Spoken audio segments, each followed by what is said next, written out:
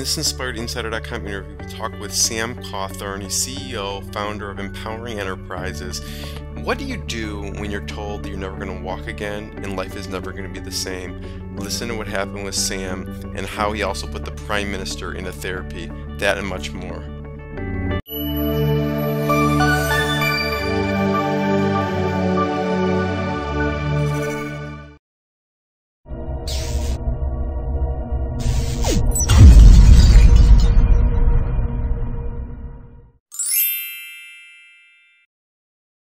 Jeremy Weisz here. I'm founder of InspiredInsider.com, where I talk with inspirational entrepreneurs and leaders like Sam and how they overcome big challenges in life and business.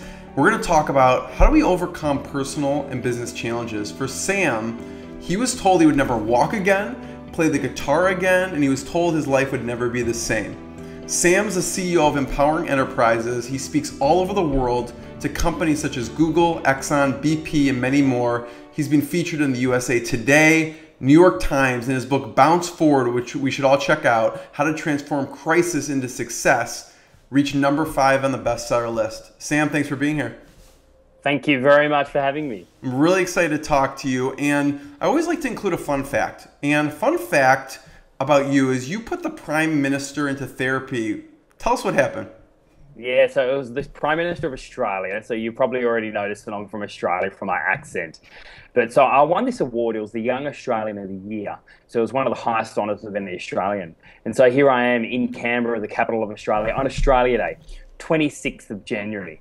And so I had the opportunity to go to go to the Prime Minister's house there at the lodge in Canberra on Australia Day. But I'm thinking to myself, what can I do in order for the Prime Minister of Australia to remember me? Because as you guys know, you know, PMs probably meet hundreds of people every day as if they remember everyone that they meet. And so here I am. I put on my best suit. I went down the hotel lobby. Now you need to realize I've I've actually got a prosthetic arm, so I've got a bionic arm. Actually, um, the it, it is the most advanced bionic arm in the world right now. It is the only one in the southern hemisphere. It's worth over one hundred and twenty thousand dollars. Now get this: I program it with my iPhone five. Wow. I've got an app for my arm, which is really cool. But on this particular day, I had my other arm on. Now, I have seven arms all up, which is really cool. But on this particular day, I had my other arm on. And so I decided to play a practical joke to the Prime Minister of Australia just so he would remember me. So imagine this. I walked over to the Prime Minister of Australia. He didn't notice at all that I had a prosthetic arm. So as he went to shake my hand, I detached my hand and my hand came off into his hand. And it made, you know, made world news, you know, the young Australian of the year providing an armless prank to the Prime Minister. And in his Australia Day speech, the Prime Minister of Australia, he said, he looked over to me and he goes, and thanks, Sam, I'm still recovering from therapy today. so, what are you wearing now?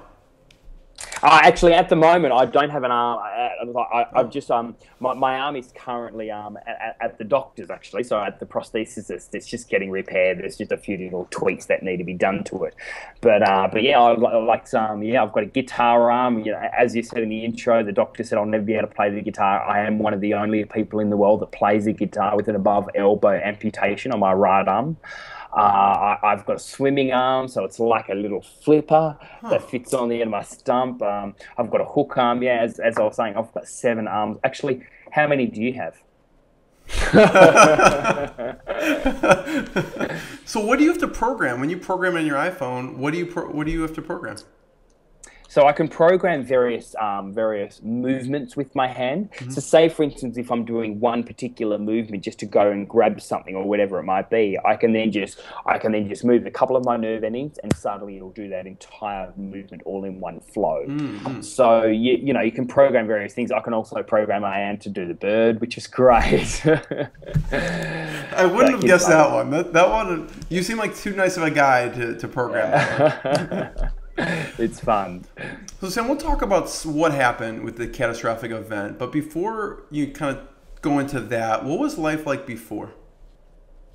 So, before my accident, uh, so I was born and raised down on a family farm down in Tasmania Yes, you heard me right. It was down where they have the Tasmanian devil. My mum is Indian, my father is Scottish, and there is there are eleven people in my family, seven boys, um, four girls. Actually, I'm an uncle thirty three times as well. Holy cow!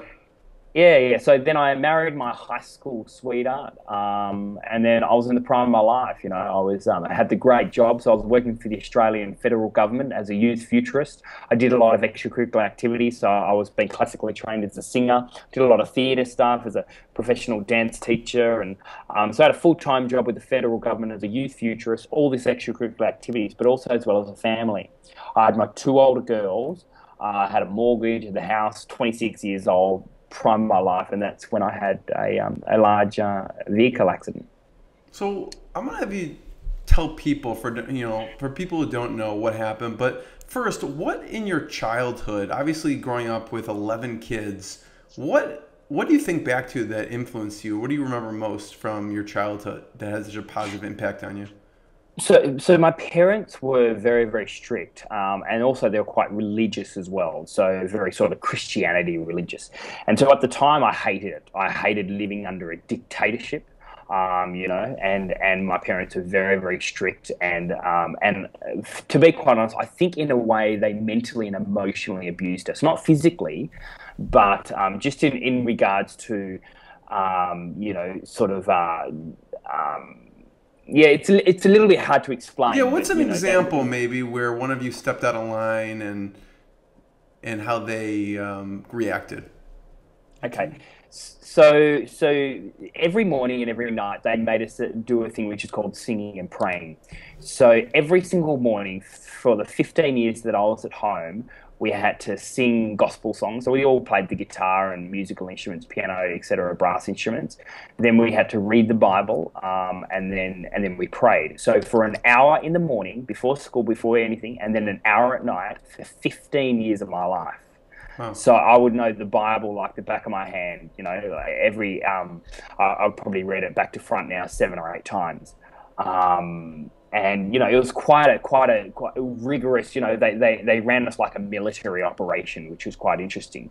Um, so so not not physically abusive or anything like that. My my mum's love languages don't know if you've read the five love languages but you know everyone sort of got their own uh, their own type of love language.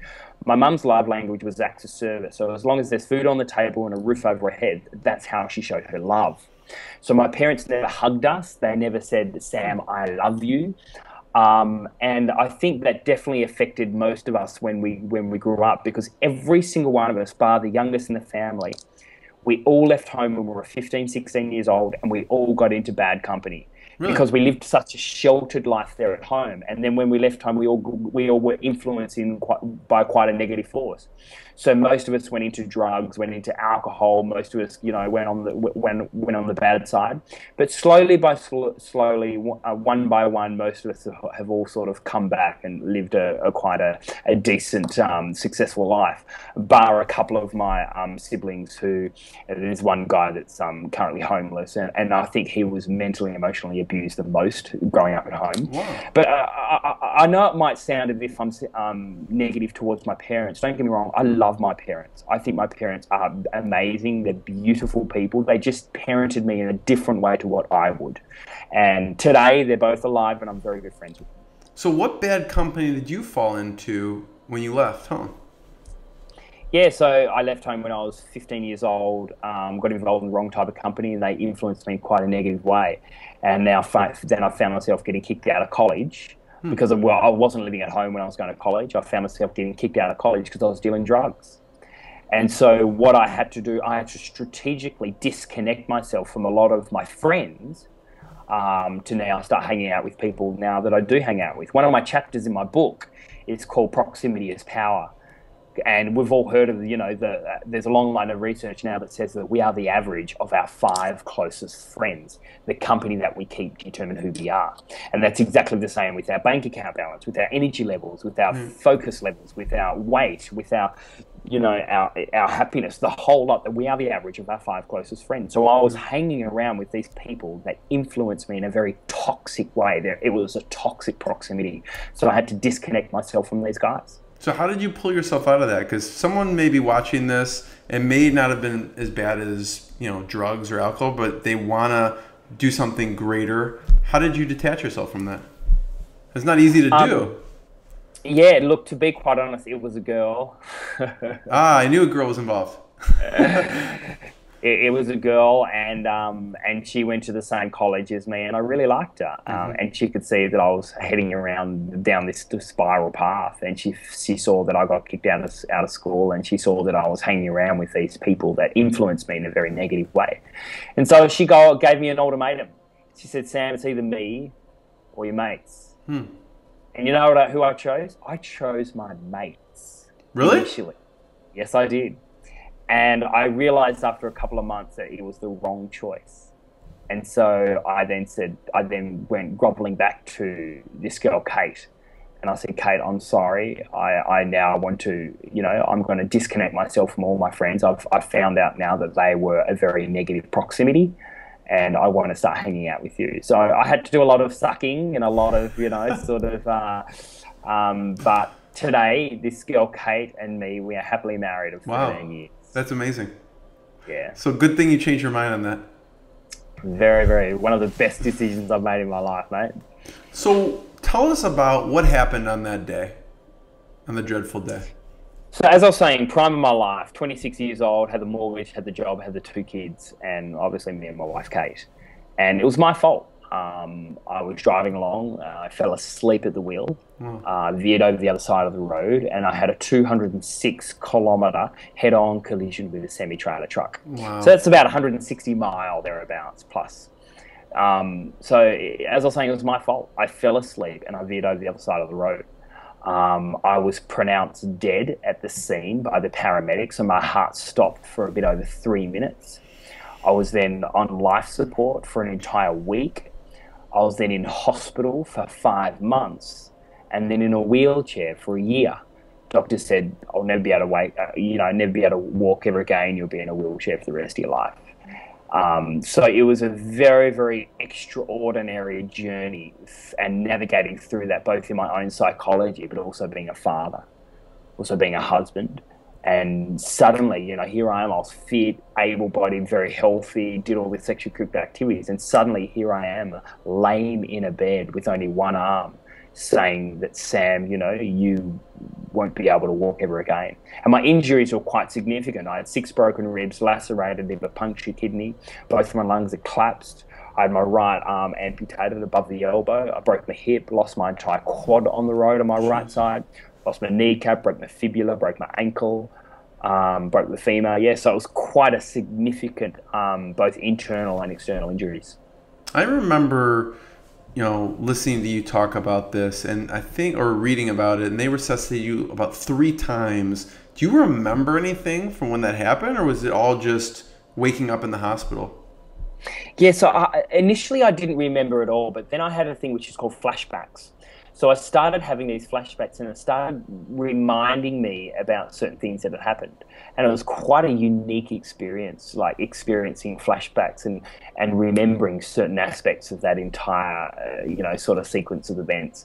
And so initially, no, I didn't remember it. But yeah, I, I remember the noise of the impact. I remember waking up. I remember fighting for my life. I remember my rescuers that were there that were t- telling me just to breathe, just to hold on.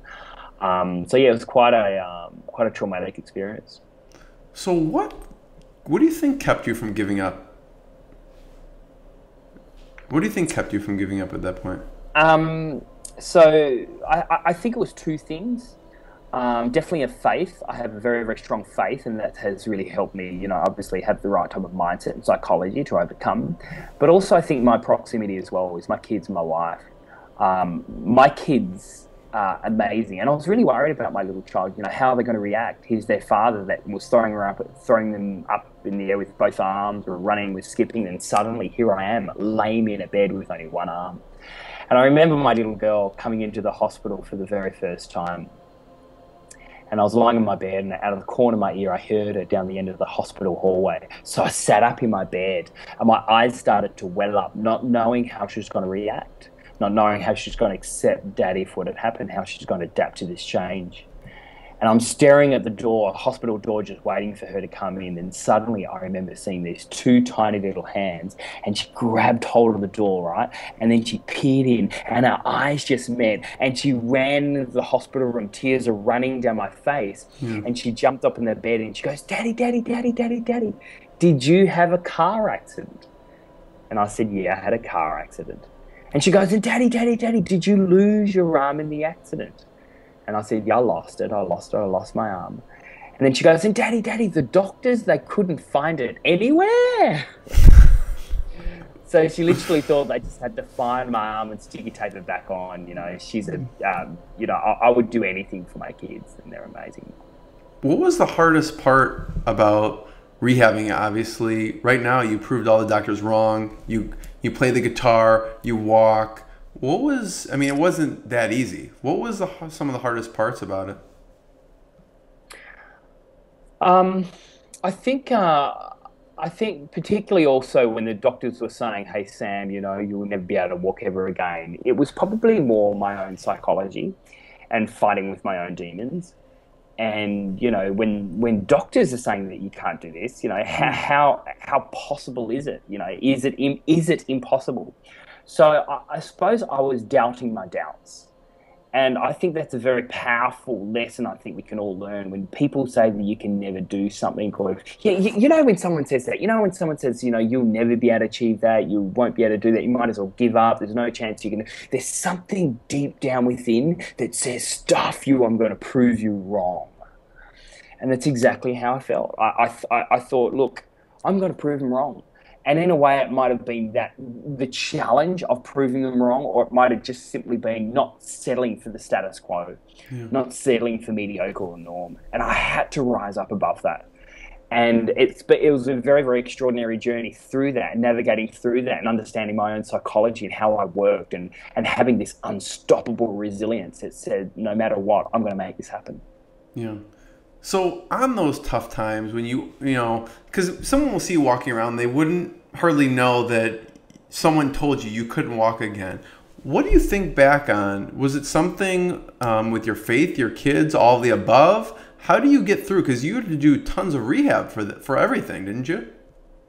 Yeah, I think in order for me to continue to maintain that, that level of psychology, I think it was also a, a, thing which we've all heard of before, and it's so cliche, but just simply being grateful. I mean, I, I could no longer be here today. My kids right now could be growing up without a father. My wife would be a widow.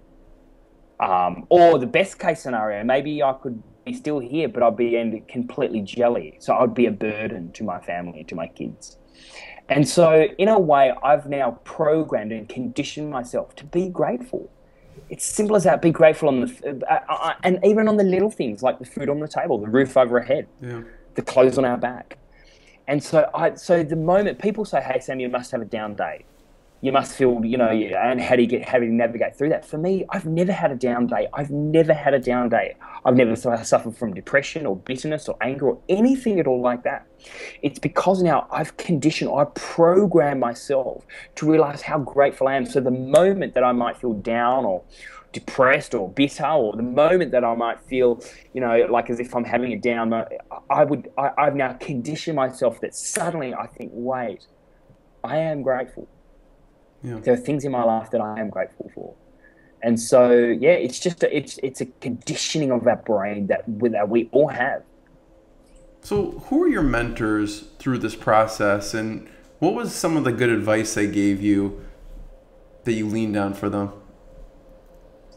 Uh, so I've, I've got a lot of mentors, that, you know, throughout my life. You know, obviously proximity is power. So I've now sort of got a, a, a health mentor, a business mentor, a a, um, a, a faith or like a religious or like you know um, a godly mentor, if you want to call it and so and even my wife and my kids you know they they mentor me all the time. And and and even from um, internal mentors or even external mentors people that I don't have control of. Like I love reading Nelson Mandela's books and his literature.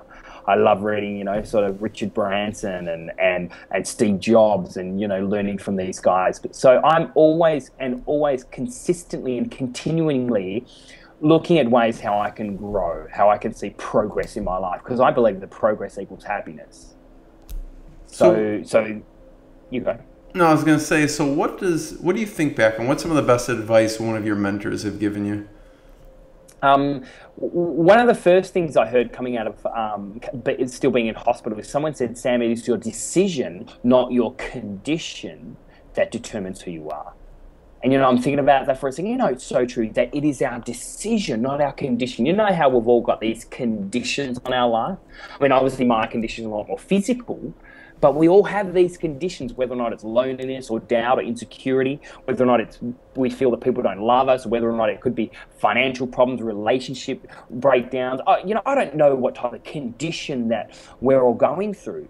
But one thing I do know that it is our decision, not our condition, that determines who we are. And so that that really spoke volumes to me and just realizing that no one can ever ever take away our freedom of choice our free will, our decision. I mean, we, we and we all have we all have conditions, but it is our decision. So that was the that was the most important real estate for me at the time. Yeah.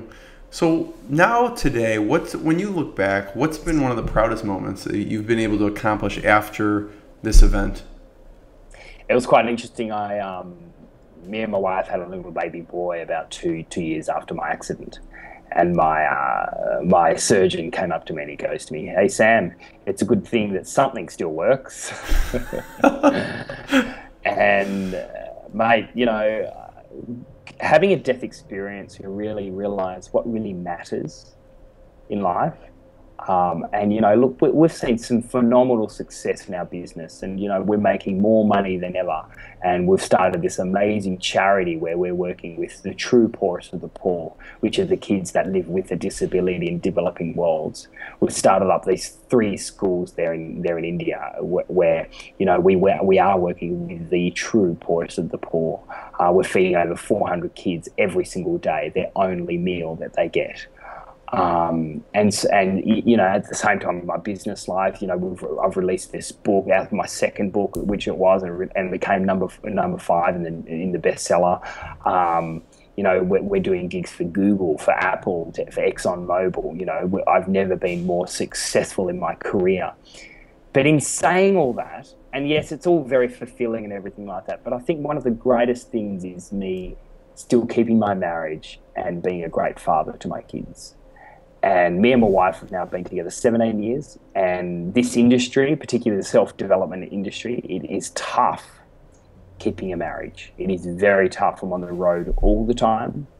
And uh, yet, me and my wife have never been more happier. We've now set up guidelines and systems that work for us. Um, you know, I am on the road a lot, as well as also being a great father to my kids. And so for me, that is without a doubt the greatest achievement in my, in my world. Yeah. I mean, you bring up a good point there because it doesn't have to be someone traveling, but it could be just someone working long hours. What kind of systems do you recommend someone to do that you that works for you and your kids and your your family because you're traveling so much? Have you heard of the three G's? The three G's: the gold, the girls, the glory. So the, obviously, this is you know particularly with people that either live high stressful lives or these you know highly intelligent people, whatever. But there are three things that we just need to watch our intention of what do we truly focus on. So the first one is the gold, and you know, do we do everything just for a fatter wallet? For a nicer car, for a second boat, for a first grade holiday, but do we do things just for the gold? Second thing is the girls um, and it's you know that whole you know immorality, sexual morality that, that we have, and making sure that we're just we're just keeping true to ourselves. Because who would know? Like here I am in a different country, and I could quite easily be unfaithful, but who would know? I would know. And so for me, you know, just just really, really watching myself and having a system in place where, you know, where I, I there's no meetings one on one with a female outside of hours. You know, just little, things like that, which no one talks about. But for me, it, it you know, you know, I need to make sure that I live with integrity. One thing I think in this industry is um, that charisma doesn't always equal character. Let me say that again. Charisma doesn't always equal character. So we can meet those people that have this amazing charisma, larger than life personalities come up to you, they look you in the eye, they shake your hand, they promise you the world. But can they back that up with values, with morals, with integrity, with ethics, and so on and so forth? And then the third one is is the glory is do we do it just for the applause? Do we do it to feed our own egos? Do we do it just so it's all about me? Um, do we do it for the glory? And so there's a three areas, particularly in our intentionality of why we do things: the goal, the girls, the glory. And so this is a system that I that I'm always, always just being conscious about in my own integrity and my own walk as well, my own business, is making sure that uh, that my intentionality and my values are still staying, you know, strong. Yeah. So why do you do it then? So my overarching vision, my overarching dream is to add value to people's lives in a positive way. So everything has to align with that. So whether or not it's writing a book, speaking on stage, whether or not it's writing a um, you know a blog, doing a video, having a webinar with you, I need to make sure that I do everything um, you know um, that where it adds value to people's lives in a positive way. I also work via a principle. It's called the 10-10-10 principle. Have you heard of this? Mm-mm the 10 10 10 principle is this everything that I focus on, everything that I do has to align within that vision that I just told you, has to align within that in the next 10 minutes, 10 months, 10 years. And if it doesn't, I won't spend any time at all on it. Yeah. So, what have you had to turn down because of that? That was maybe a little painful. I don't know, like even things like watching TV or playing a game, even things like just things that do not serve me. Mm-hmm. Like even even mentoring a client like like for instance if like some things that don't stimulate me is saying the same thing to someone and expecting different results but the results aren't being different at all so if i if i mentor someone if i told if i've given them all the best wisdom and all the best, best advice for them to get themselves back on track right. and they don't do anything at all about it and then they come crying back to you for exactly the same things i'm saying look i've already told you and so that frustrates me a lot. So I won't spend any time any time at all on it because it doesn't serve me and it doesn't serve them because it's wasting both each other's time. So just little things like that that I'm, mm. you know, I need to just consciously think, does this serve me and the people around me in the next 10 minutes, 10, 10 months, 10 years? And if it doesn't, I won't spend any time at all on it. Yeah. And it kind of goes back. I asked this as a parent too. I'm curious, you know, from your upbringing and what's happened to you now with the incident, what are some things you do uh, parenting wise? Yeah, so we've got some really good systems in place, and particularly with all my travel. So I do about 30, 40 flights a month. Actually, my Holy record cow! To, my record to date is 56 flights in one month. Oh my god! So that'll give you an idea, obviously, the level and the scope that uh, that my business is on. So obviously, then trying to you know be a good father and a husband, you know, I have to have some good systems in place. And so I have a really good Skype relationship with my kids, which is really cool. And my little boy, he hasn't still quite worked out how to use Skype, so he's eating a banana. And he goes, Here, Dad, have a taste. Squash. so, yeah, you know, look, and the reality is that maybe I'm not at home more often than most other fathers, but get this, I'm actually at home. Which means even though there's fathers out there that are at home, they're not really at home Whereas when I'm at home, I'm at home. They have 110% of my focus. There's no TV, no distraction. They have all of me. And I think, you know, quality, you know, quality versus quantity. So for me, the time that I spend with my kids and even with my with my wife, it is quality time. They have hundred percent of my attention. And me and my wife, you know, try and do a date every single fortnight. Every fortnight, we set out, a, an evening and we'll have a date night. And it's very, very important to our relationship. I mean, mate, we've been we're, we're first girlfriend boyfriend to each other. Um, we've now been together what longer than what we have been apart, 17, 18 years. Wow. So yeah, it's quite an interesting journey navigating through that and making sure that you have a third space in your world as well. And what a third space is something outside of work and something outside of home, something that you do just do just for you that'll align yourself and fill your tank. So I've now set put um, systems in place so I have a third space in my world, mm. um, and that just works really well. So my third space is actually going to the movies. Oh, nice. I love anywhere at all in the world, I'll go to the movie, sit in the same spot, eat my ice cream, switch off, and be entertained for three hours, for two, for an hour and a half, two hours, three hours, whatever it might be. So, I, so even if I've been away for two, three weeks, I come home and my wife sees I'm stressed or whatever, she would hand me my coat and my keys, and she'll say, "Go and watch a movie." So I know, I know, I know that I know that I know what's important in my world and what I need to do. So Sam, for people out there, what's one thing you tell them to do right now to start to overcome maybe a personal or business challenge that they have? Where should I they start? Because you mean we talked about a lot of stuff. Where where should people start? You think? Okay, so one of the first principles in my book is called crisis creates opportunity. So I actually tell people escalate it into a crisis because when it's a crisis, there's something in our biology that says we must get ourselves out of it. There's a long line of research now that says that crisis can ignite some of the greatest growth periods in our life. The Chinese have a two syllabus word for the word crisis. It's danger and crucial point, or danger and opportunity.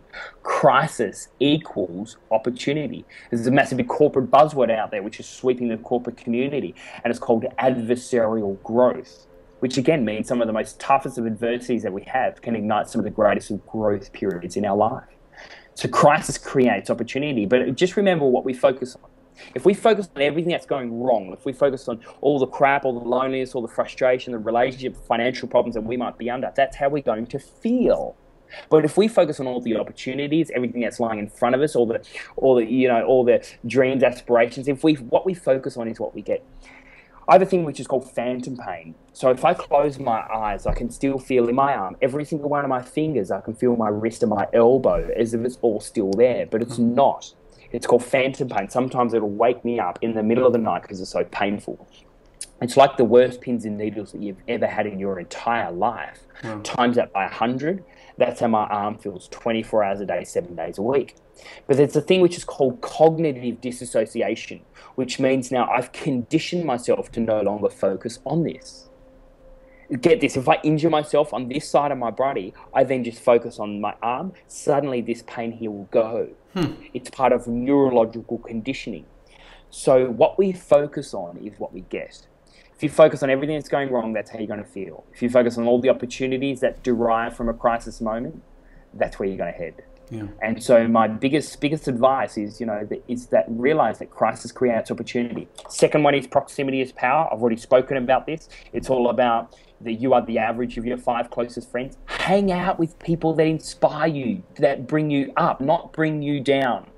So it's very, very important to hang out with the right type of proximity. And then the third, one more point as well, is this whole thing about leveraging happiness that fuels success. So purposefully be happy. Bottom line. Happiness is a choice. It is a choice first. So you choose to be happy. It is a conscious choice and a decision that you make in everything that you do, whether or not you're happy or whether or not you're not. But just choose to be happy. Love that. Thank you for sharing that. I love it. Sam, last question. Just tell us a little bit more about your business. What are you most excited about now? And where can people find you? Um, so pe- people can find me on my website, samcawthorn.com.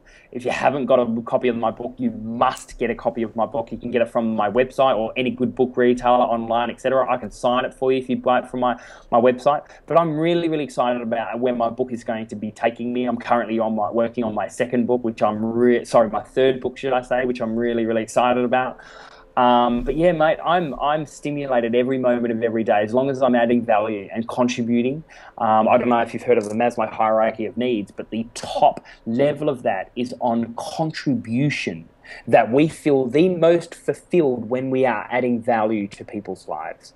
And so find a way where you can add value to someone else's life. If you're feeling like crap, if you're having a down day, you go and help someone else to be happy, guarantee you'll feel more happy than them. I'll finish off with this.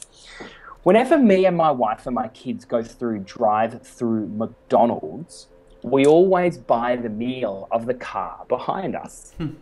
Seriously, that's what we do. So imagine that, right? Here we are going up to the window, we pay for our meal, then we pay for the car behind us, and the lady's like, oh my gosh, that's awesome. And then we drive forward. But then me and my wife and my kids, we all look behind us and watch this car driving up to the window. They go for pay for the meal, and the lady's like, the car in front of you just paid for the meal, that's awesome. And these people in this car are like, oh, and we're in our car, and we're going, yes. But just for that moment, we're adding happiness and positivity in the lady there in McDonald's, the car behind us. But you know who the most happiest are? Is we are in our car because we are contributing, we're adding value. Altruism ignites high performance, the act of giving, the act of generosity. So always look at ways how you can be generous.